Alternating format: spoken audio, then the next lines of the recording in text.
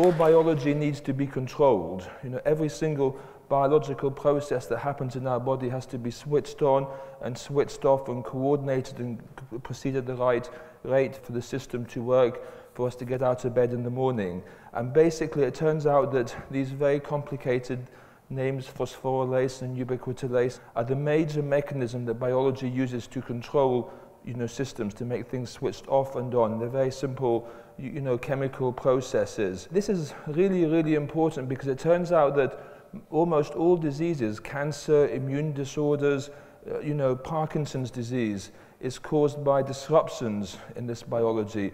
You know, these and the enzymes that control this biology, and they either occur too, you know, they, they're too switched on when they should be switched off, or they're not switched on enough when they should be switched on. These are the hallmarks of many of the, uh, of the disease, and understanding this biology is, is turning out to be very critical because all pharmaceutical companies now are, and clinicians are trying to understand these enzymes better.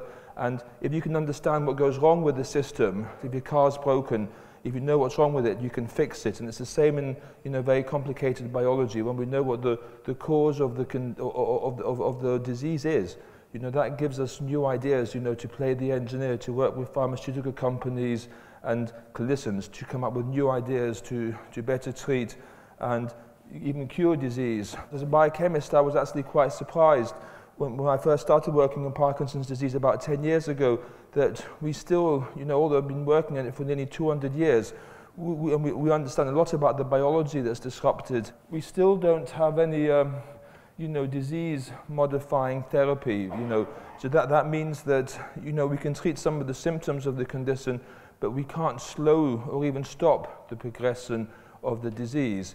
And so, so, so that, that, that, that's the goal of all the work I'm going to talk about is to try to understand you know, what's causing Parkinson's disease in some patients and using that information to come up with a better strategy to, uh, to treat the disease. So, you know, there's many, there's, there's many, many causes of Parkinson's disease. And, and probably most people, it's caused by unknown, un, unknown, maybe just natural, you know, aging, it's maybe by, maybe by some infectious agents, maybe by env environmental toxins. And, and, that's probably the 90 you know, percent of, of the patients uh, fall in this category. And, and, and, and these agents will be affecting the normal pathways that control Parkinson's disease, but maybe in ways which we don't fully understand. And because it's, we don't really fully understand, there's no real way to get a handle on what's going wrong with patients, 90% of patients who degenerate who have normal age onset Parkinson's disease. This is typically over the age of 50 or 60 or, or 70 age of years. But what, what, where the breakthrough has come in the last uh, you know, 20 years has been the identifications of familial cases of Parkinson's disease. This is where it runs in families, and this is caused by a genetic mutation, often in just a single gene. You know, you've got 3 billion DNA sequences in each of your cells, and it's like the Bible and it's like one punctuation mistake in that book, you know, is enough to lead to Parkinson's disease.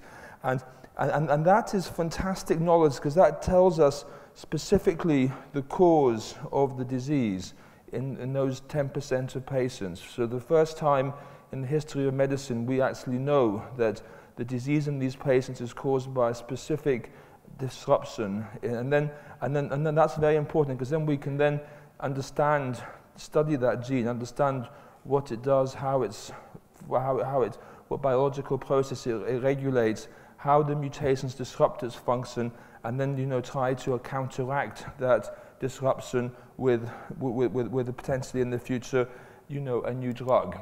So there's at least 18 genes that have been found now by the work of fantastic clinicians to be involved in uh, Parkinson's disease and, and they're all listed on, on, on, you know, on this slide here. You know, some are early, some are late. They all have a very complicated gene name, and, uh, and I've, I've summarized the biology that they control. And, and the reason why I became interested in, uh, in, in, Parkinson's disease is because, as I told you, I mean, you know, as a biochemist, I work on phosphorylation and ubiquitinase and biology.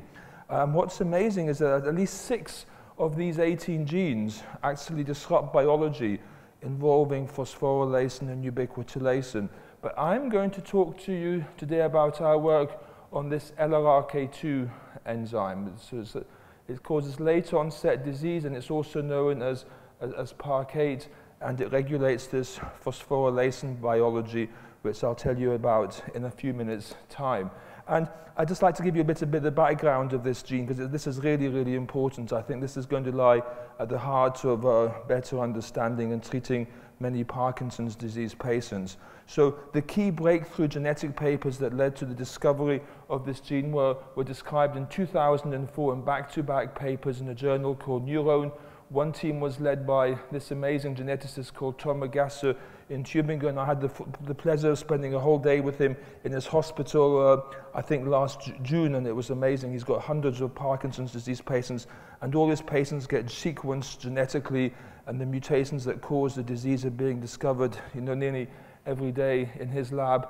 And the second paper is actually led by Andrew Singleton, but there's also, uh, some of you might know in, in the UK, there's Nick Woods, who's based at the university uh, in UCL, and he's a legend as well in the genetics of Parkinson's disease, and he's also identified many of these genes, and I've also had the pleasure to, to work with him quite a lot.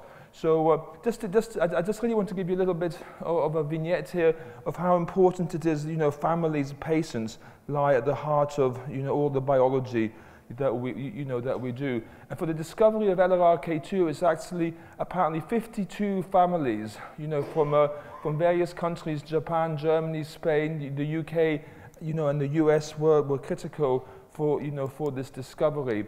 And, and essentially the geneticists, you know, found these different families. The males are shown as squares and the females in circles. The, the ones in black are the, are the patients with, with, with, with Parkinson's disease. And you can see that the disease, you know, in this family runs through different families on this, you know, in these schemes. And it's also quite amazing that there's, there's even one Japanese family I found which had seven different generations of patients they were able to, uh, you, you, know, study. And, and, and this was very critical identifying the LRRK2 gene. So what's special about LRRK2, there's different types of gene mutations. You know, we all inherit a gene from our mother and from our father. And in, in the case of LRRK2, it's known as dominant. So if one of your genes is, is, has a mutation either from your mother or father, you, you know, 50%, you have 50% chance of getting the disease. So the disease is dominant. And because of this, you can see, you know, it runs through the families. In every generation, you tend to have patients with the mutations. Other mutations are recessive, so you need to have, you know, you, you need to inherit both the mutant copies from your mother and father to get the, you know, to get the disease. But in the case of LRRK2, it's a dominant mutation. So if you just have one copy of the gene, you're, you're, you're predisposed to getting Parkinson's disease. And this gene is, we all have 23 chromosomes in our body. You have two, one from your mother and one from your father. And LRRK2 is located on the chromosome 12. It was discovered from analyzing these families. And you can actually pinpoint the bit of DNA that is mutated. And you know, and, and the reason you know, I told you about this is because it regulates phosphorylation biology. So once you have the gene, you then study what does the gene look like, what does it do, what protein does it encode. And it encodes a protein known as an enzyme. So enzymes are a group of many, many proteins encode enzymes. These are things that you know, do things in cells. And the type of enzyme it's called is called a kinase. So these are these are very important enzymes because these are the enzymes that put phosphate groups onto proteins in response to a signal and that changes the activity of the protein that the phosphate is attached to. This is the key way that this biology is regulated through protein phosphorylation and putting the phosphate on the, on the protein can either switch it on or off depending on the, on, on, the, on the system. There's actually about 550 protein kinases in our body they all catalyze in different you know, enzymic reactions.